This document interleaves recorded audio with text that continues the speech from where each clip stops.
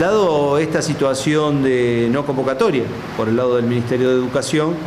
este, para rever o por, lo menos analizar y saber cuál va a ser el rumbo dentro de la situación que estamos padeciendo,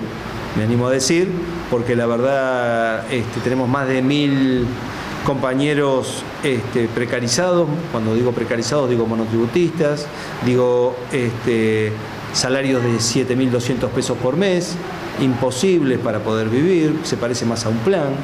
pero además esto afecta básicamente también, eh, no es un tema menor, porque no aportan a la caja de jubilaciones por lo menos no a la caja provincial. Por lo tanto, este, definancian la caja, porque para que exista un jubilado